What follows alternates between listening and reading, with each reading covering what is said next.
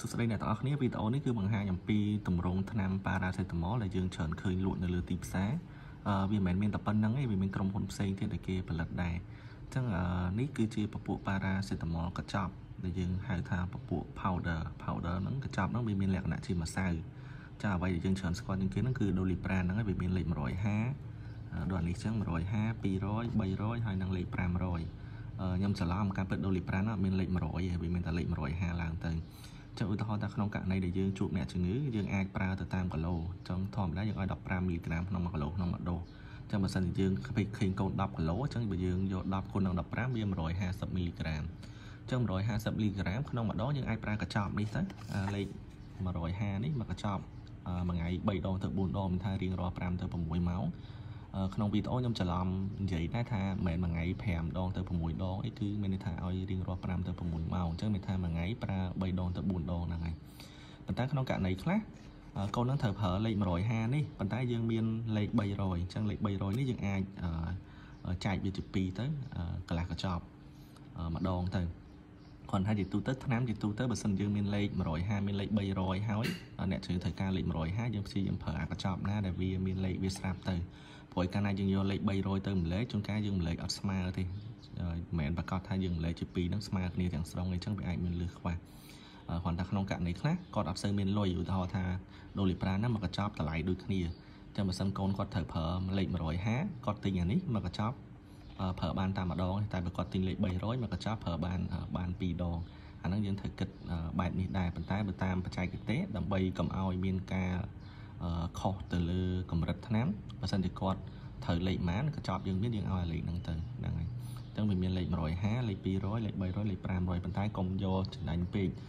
ឧទាហរណ៍ថាក្នុងករណីខ្លះគាត់ត្រូវការ150មីលីក្រាមអញ្ចឹងទៅយកលេខ500ចែកជា3ដងអាហ្នឹងវាលំអៀងខ្លាំងអញ្ចឹងយើងកុំធ្វើបែបហ្នឹងអីយើងអាចប្រើ150ឬក៏300ចែកជា2ទៅហ្នឹងហើយក្រៅពីប៉ារ៉ាប្រភេទនេះយើងមានប្រភេទផ្សេងទៀតនេះគឺឧទាហរណ៍ពពួកថ្នាំសៃរ៉ាប់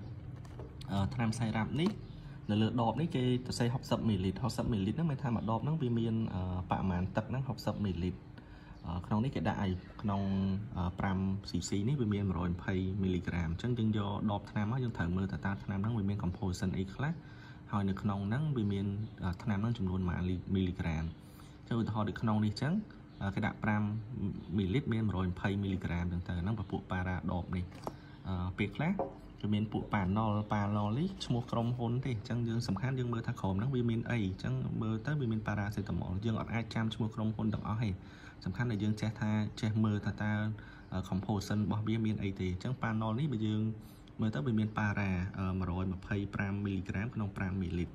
វាខុសទៅលើ5មីលីក្រាមអាមាញ់នេះវាមានតែ120ហ្នឹងហើយអានេះ120មាន5អានេះវា125ក្នុង5មីលីលីត្រ ពេលខ្លះទៅគេមានជាសារ៉ាអញ្ចឹងទៅសារ៉ាវាមានរសជាតិផ្សេងទៀតក្មេងខ្លះគេគិតទៅតាមរសជាតិដែរអានេះក្នុង120មីលីក្រាមមាន5មីលីលីត្រដែរអាពណ៌ខៀវនេះក៏120មាន5មីលីលីត្រដែរចឹងទៅទូទៅដូចខ្ញុំនិយាយចឹងក្រៅពីវាដាក់ composition ចឹងហើយវាមានដាក់លេខវាអានេះវាមាន100មីលីលីត្រអានេះវាមាន60មីលីលីត្រអញ្ចឹងមួយដបហ្នឹងវាមានប៉ុណ្ណឹងមួយដបហ្នឹងឲ្យយើងប៉ាន់ប្រមាណថាតើកូនហ្នឹងយើងត្រូវការប្រើប្រហែលថ្ងៃខ្ញុំឧទាហរណ៍ថា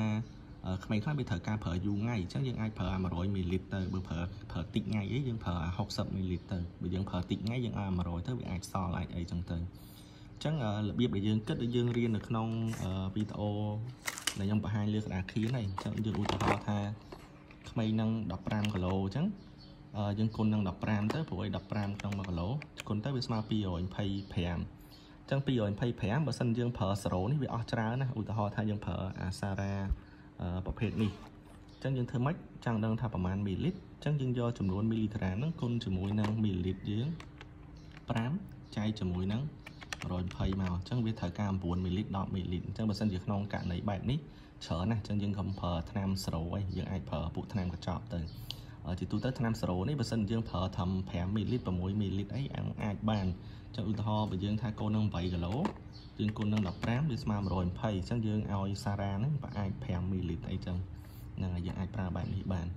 អញ្ចឹងអឺយើងអាចប្រើអានេះក៏បានឬក៏អាចប្រើពពុះអាដបចេះក៏បានដែរខ្ញុំខ្ញុំចូលចិត្តប្រើពួកដបចេះវិញអឺប៉ារ៉ាមួយប្រភេទទៀតនោះវាមានជាកំប៉ុងកំប៉ុងហ្នឹងវាមានជាគ្រាប់នេះអឺមានលេខ100មីលីក្រាម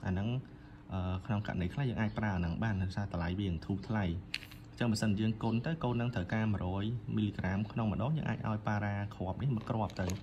អឺគ្រាប់ខ្លះវាមានកំប៉ុងវាមានផ្សេងទៀតទៅវាមានពពួកអានេះវាមាន500មីលីក្រាមអញ្ចឹងទៅសំខាន់យើងមើលលើដបហ្នឹងហើយហើយអឺប្រភេទខ្លះមានប្រភេទថ្នាំសុលថ្នាំសុលនេះវាមានពួកប៉ាណុលមានពួកអេសហ្វេរីកង់អីចឹងទៅអញ្ចឹងវាមានលេខ100លេខអឺ300អេសហ្វេរីកង់នេះវាលេខ150អញ្ចឹងយើងគិតទៅតាមគីឡូទៅអឺតើយើងគួរប្រើមួយណាហើយបើសិនជាថ្នាំគ្រាប់នេះចាស់វិញយើងអាចប្រើដូលី5លេខ500ឬក៏យើងអាចប្រើលេខ1000ទៅបើសិនយើងចង់បាន1000អត់មានលេខ500ឲ្យអា500នេះលេខ2គ្រាប់ទៅបានដែរចំពោះប៉ារ៉ាបញ្ជួវិញវាមានទៅតាមក្រុមហ៊ុនដែរប៉ុន្តែថ្នាំភាគច្រើនហ្នឹងគឺគេតែងតែសរសេរអញ្ចឹងវា1ក្រាមក្នុង100មីលីលីត្រអញ្ចឹង1ក្រាមវាស្មើ1000មីលីក្រាមអញ្ចឹងបើសិនយើងចង់បញ្ជួ មនុស្សចាស់អត់អីទេយើងអាចបញ្ជួមកដបបានតែកូនក្មេងពេលខ្លះគាត់ក្តៅខ្លួនខ្លាំងយើងមានអឺយើងត្រូវដាក់ស្រោមហើយយើងអាចប្រើ e-way ឲ្យគាត់ទៅអញ្ចឹងយើងបូមគិតទៅតាមនឹងមកហ្នឹងហើយដូចខ្ញុំបរៀននៅលើក្តារខៀនអញ្ចឹងអឺមួយទៀតដូចខ្ញុំតែងតែប្រាប់អញ្ចឹងធម្មតាថ្នាំក្រុមហ៊ុនថ្នាំមួយមួយគេតែងតែដាក់របៀបប្រើឲ្យយើងប្រើហើយឧទាហរណ៍នៅក្នុងថ្នាំសារ៉ាប្រភេទនេះអញ្ចឹងគេដាក់ក្មេងក្រោម2ខែឲ្យយើង consult មួយដុកទ័រទៅក្មេងចន្លោះពី2ខែទៅ3ខែ ឲ្យយើងប្រើកន្លះស្លាបព្រាឬក៏2.5មីលីចឹងទៅប៉ុន្តែជាទូទៅបើយើងរៀនហើយយើងបាច់យកតាមហ្នឹងដូចខ្ញុំនិយាយចឹងវាអាចមានការប្រែប្រួលទៅតាមគីឡូទៅតាមអាយុរបស់កូនក្មេងដែរអញ្ចឹងយើងត្រូវគិតប៉ារ៉ាសរុបទៅយើងប្រើដូសដូចអ្វីដែលយើងរៀនអញ្ចឹងយើងប្រើ15មីលីក្រាមក្នុង1គីឡូក្នុងម្ដងវារៀងរាល់5ទៅ6ម៉ោងម្ដងហើយបើសិនជាក្នុងករណីគាត់នៅក្តៅខ្លួនចន្លោះហ្នឹងទៀតយើងអាចឲ្យ ibuprofen ចន្លោះហ្នឹងឬយើងអាចឲ្យគាត់ស្អំខ្សែស្អំអីចឹងទៅហ្នឹងហើយអញ្ចឹងរូបមន្តឬមេរៀនតាក់ទងជាមួយនឹងប៉ារ៉ាហើយនឹងរូបរាងថ្នាំប៉ារ៉ាគឺមានតែប៉ុណ្្នឹងអឺថ្នាំដូចខ្ញុំបញ្ជាក់ឡើងវិញអញ្ចឹងក្រុមហ៊ុនមានច្រើន សំខាន់លើយើងចេះពីរបៀបក្នុងការប្រើទៅយើងយកថ្នាំនឹងមកមើលថាតើវាមាន composition វាប្រមាណតែប៉ុណ្្នឹងហ្នឹងហើយអញ្ចឹងតកតងប៉ារ៉ាំងគឺចប់តែប៉ុណ្្នឹងយើងនឹងជួបគ្នានៅក្នុងវីដេអូក្រោយទៀត